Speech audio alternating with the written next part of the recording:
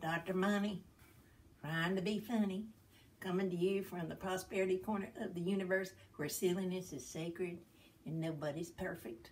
I am your professor of prosperity, and I'm here so that our life can just pop with prosperity. Pop. And now for the more didactic part of our program, Like to share with you about the mind. We talk about prosperity affirmations and we have affirmations like I am prosperous, I am creative, I am abundant.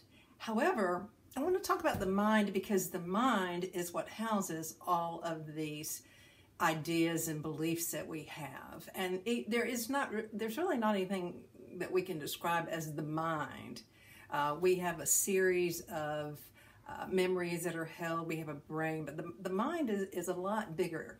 And uh, so I've got some affirmations I want to share with you about the mind so that we can work on the mind. And these are from my book, Words Make a Difference, which is about affirmations.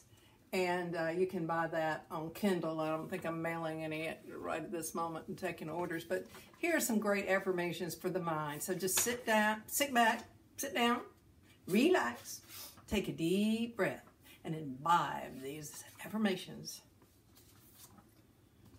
I'm on the wrong page. Let me get to the right page. Okay.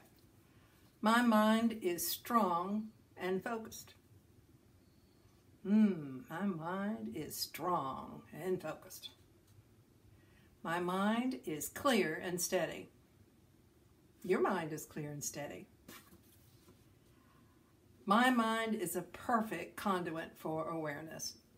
Your mind is a perfect conduit for awareness.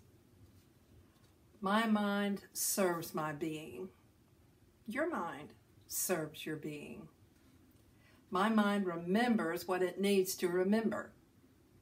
Your mind remembers what it needs to remember.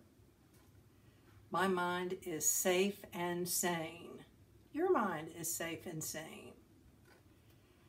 My subconscious mind is a reservoir for genius. Your subconscious mind is a reservoir for genius. So just take a deep breath, chew those up in your mind and make them yours. Take a deep breath and inhale your good.